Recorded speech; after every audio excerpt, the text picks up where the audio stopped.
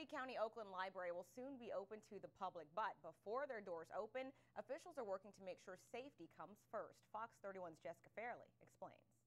During a special call meeting, Lee County Commissioners approved a measure to allow contractors to replace unstable soil on the Oakland Library site. The soil needs to be replaced as bad soil before you can pave the parking area. You've got to change the soil.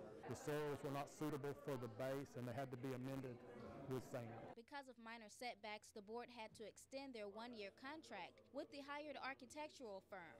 The Oakland Library is 80% complete and officials say if all turns out well, they could be done by early September. It really kind of depends on the weather and how significant the soil problems that we've encountered wind up being. Although soil issues have hindered progress on the parking lot, commissioners are confident that the project as a whole is coming along just fine. Furniture will be installed maybe the second week in August.